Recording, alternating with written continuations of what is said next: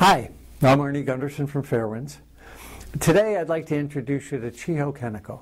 She's on our board of directors here at Fairewinds Energy and she just got back from a really interesting trip to Japan. And I'd like to have you understand the problems that the people in Japan are having who have been evacuated from their villages and are now asked to return. So, welcome, Chiho. Hi, Arnie. It's nice to see you again. Hundreds of thousands of people were asked to leave the accident scene and, and move to temporary housing, and now they're being asked to return. Can you tell us about the one village where uh, we have uh, an example, a case history, if you will? Okay. It is a, a village of Kawauchi, which is um, located um, southwest of Fukushima Daiichi nuclear power plant. And I would say the closest part um, to the reactor the, of the town village is about 12 miles from the reactor reactors. So these people didn't stay in the town. They were one of the first people to be evacuated. And where did they go to and how long were they there? Well, depending on the person, of course, some people who had um, relatives that, that, they can uh, rely on might have stayed with, you know, those relatives, uh, say, in the Tokyo area or whatever. But a lot of them, well, the, the village basically uh, help people uh, live in temporary housing units uh, located in Koriyama, city of Koriyama, which is in Fukushima, um, about 40 miles uh, west of Fukushima Daiichi. So they got evacuated from 12 miles away to 40 miles away, and uh, they were put up where? It's a temp temporary sort of a prefabricated uh, units of a residential sort of um, you know buildings, and uh, just a small rooms. Uh, they're just a, like a rows of homes, uh, all you know put up quickly uh, on a parking lot next to a big convention center. Um, it almost sounds like the FEMA housing after Hurricane Katrina. I've never seen FEMA housing myself, but I think I imagine some, it's something like that. Yeah. So, how long were they there, and when did they, were they asked to return?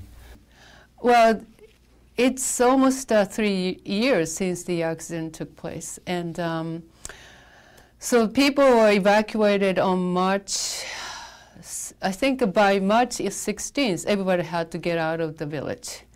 And um, temporary units were built some months later, you know, um, since then. But then a lot of people left um, the, the, um, the temporary units, but then some people are still there, uh, especially uh, the older generation, older people, because um, you know young people might find their own apartment to live um, with maybe with their family, but then older people well, they don't have a work um, and they don't have means of transportation, so they just stayed.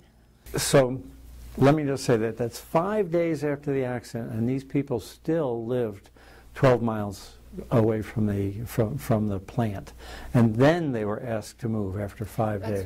That's right. That's right. How sad. You know, I was on CNN saying that people should be evacuated, you know, three or four days after the accident. Right. So the, um, the, the family unit has been disturbed. There, there were you know, young people, middle-aged people, old people, all living together in this village. And then they were, were forced to evacuate for 40 miles away to a um, to basically prefabricated housing that was thrown up pretty quickly. What did it do to the family units?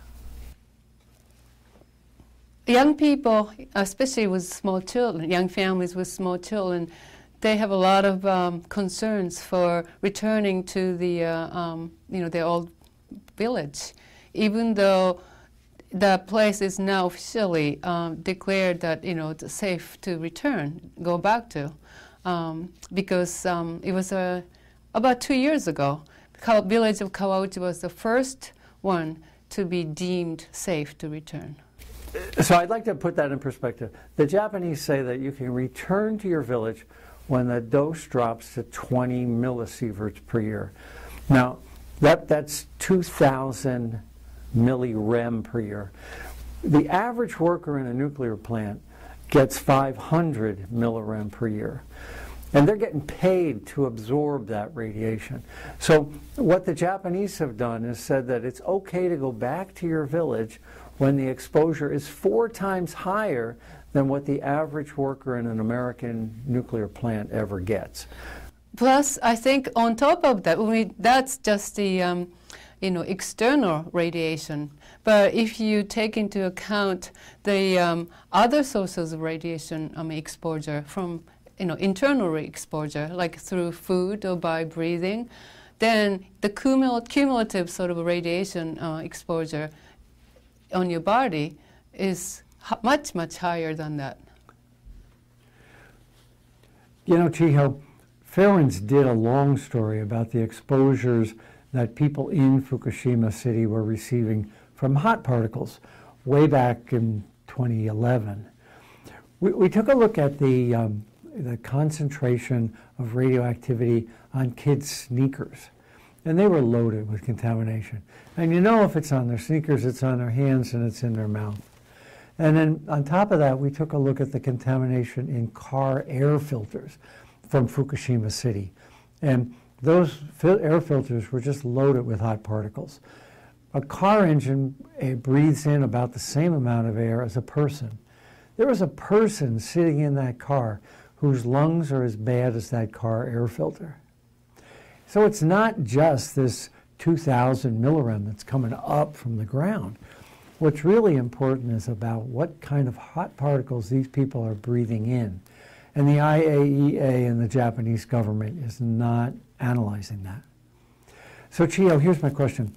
When the people go back into this village, what kind of village are they going back to? What kind of infrastructure is still there? Basically, the whole uh, fabric of the community that they used to rely on um, is no longer there. The infrastructure well, the roads are there, buildings are still there, but the community is no longer there. And also, you know, the, maybe they were going um, going for shopping or the medical, uh, you know, care in a neighboring villages and towns. Well, maybe those are no longer available to them because some of the, those in hospitals and things are maybe in evacuation zones still. And also, you know, if young people are not uh, willingly going back to the village, that means older people are just living on their own. That means, you know, they don't have people helping um, them, you know, to do those uh, daily um, sort of uh, uh going around, so, you know, making hospital appointments. So it, it is, uh, it's not quite as simple as, okay, well, you know, your house is still there, maybe three years after, you know, some of the rodent intrusions and whatever, then so house might need a little repair, but you can go back. Well, it's not quite as simple.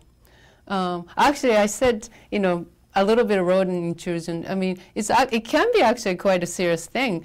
Be, you know, after being neglected for two years, three years, you know, maybe your plumbing is not working anymore, or roofs leaking you know, those things happen all the time. So it costs a lot of money to repair those in order to resume living there again. So that's another thing. But um, even without that, um, you know, the whole uh, support structure uh, in your life is no longer there. If you're a young grandparent, it's likely that your kids and your grandkids didn't come back to your village. So, as a grandparent, you're coming back to something that's basically like a ghost town. It might not be ghost town per se because the uh, village, uh, you know, government decided that they're going to go back. So a lot of village workers are there. So there are some people are living there.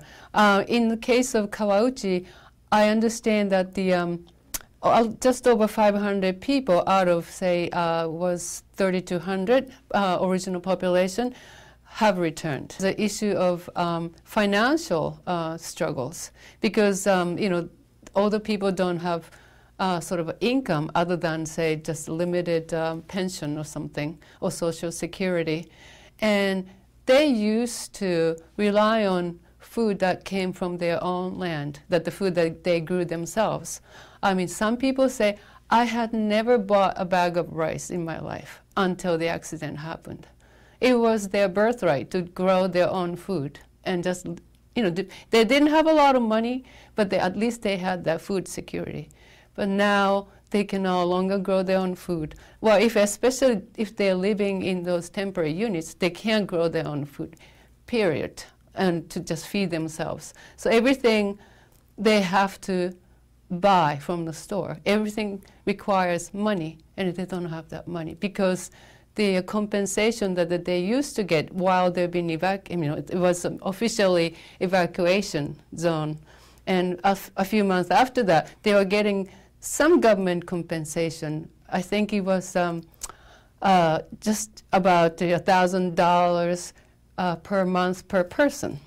But that's no longer there. It's cut off. So these people that were forced to evacuate are now in a situation where they're kind of damned if you do and damned if you don't. When they were evacuated, they got a stipend to live in the temporary housing. But now that their village has been declared clean, they can go back, and if they don't go back, they lose the stipend. But if they do go back, the ground is still so contaminated that they can't grow the vegetables they relied on to live there in the first place. That doesn't seem fair. Or they don't have the sort of um, social support structure that they used to have. I'm aware of this term called the Fukushima divorce. What that means is that the women take their children and leave, but the husband believes the Japanese government and decides to stay behind. So I imagine that that's got to leave the village without the young voices, without the kids singing, and without the, the women's voices. To me, a village without those noises would be incredibly sad. In a way, some people say children are the future, you know? Also, if, if you have a community without children, does that mean that the community doesn't have the future? In the Japanese cultural tradition, respect for your ancestors is awfully important. There are cemeteries with generation after generation of your ancestors in these villages that are left behind. Can you talk for a minute about the link between the children representing the future and the ancestors representing the past? Well, you know, it's very difficult to um, abandon the place where you know you have tens, ten generations of uh, um, you know your family lived um, over, say, 300 years, 400 years. It's difficult to just give up on the land, and you know even though you know deep down that the place is contaminated, it's no longer this pristine uh, land. It is emotionally very difficult. So I do sympathize with that, you know, the, the people's sort of a need to feel maybe it's okay to go back. And on top of that, there's the constant fear that comes from hearing the clicks of your radiation detector, always reminding you that your health is in jeopardy. Yeah. well, but it's the thing is, there's also the um, um, people, unless you see in numbers, you know, in Geiger counter, you actually don't feel anything to some extent. Um, so it's easy to get fooled that, well, maybe it is actually okay, you know, to live here, to be here, even though the reality might be otherwise. The Japanese government is leaving these people with absolutely no choice. That's the thing that I hear over and over from people in Fukushima that uh, they wish they could choose. They were given a choice between or among, you know, different options, such as well, there are some certain people who really need to go back because, you know, especially old, I mean, you know, people who feel they're too old to really um, worried about radiation, but that they need to just die in their home or whatever. There are people like that. Or there are others, you know, young people, well, I cannot let my children have uh, run the risk of, uh, you know, maybe having cancer, you know, 10 years down the road. People have different needs. And people want the choice. Um, people want government to support their choice, whichever, whatever they choose. But right now, there is only one way support, which is to either stay in Fukushima or return to Fukushima. So there's a lot of programs and money being, um, you know, sort of poured into Fukushima to support um, people, both mentally, financially, physically, um, just to, you know, uh, get back to Fukushima or just stay there. But then, if people want to sort of uh, leave the area and start their life somewhere, there's absolutely no support. Chiho, I want to thank you for the perspective and the insight you bring to Fairewinds and to this broadcast about the problems that are faced every day by people living in the prefecture of Fukushima in Japan. I'm Arnie Gundersen. I'll keep you informed.